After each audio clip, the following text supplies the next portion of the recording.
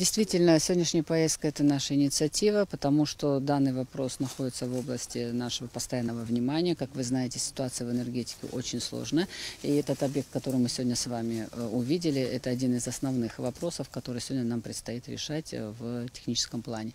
Речь идет о том, что уже несколько лет э, значит, прорабатывался вариант возможности ремонта ВЛ Чегвара 220, потому как это одна из основных линий. Соответственно, ее техническое состояние вызывает определенное беспокойство, потому что статистика аварий достаточно высокая. Учитывая то, что у нас планируется остановка НГУРГЭС в техническом плане, какая как раз было бы хорошо провести все необходимые ремонтные работы именно сейчас, потому что в, любом, в любое другое время нам приходилось бы обесточить, соответственно, на определенный период времени страну. Есть два варианта. Да? Э, То, что эта линия нуждается в, срочной, в срочном ремонте, ну, это не вызывает сомнений ни у кого.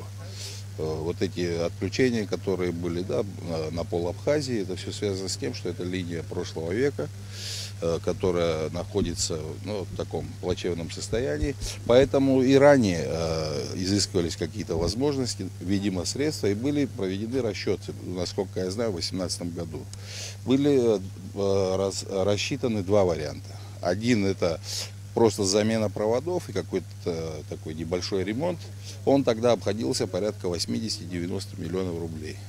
Второй вариант э, это практически полная реконструкция, и он обходился э, от 180 до 200 миллионов рублей.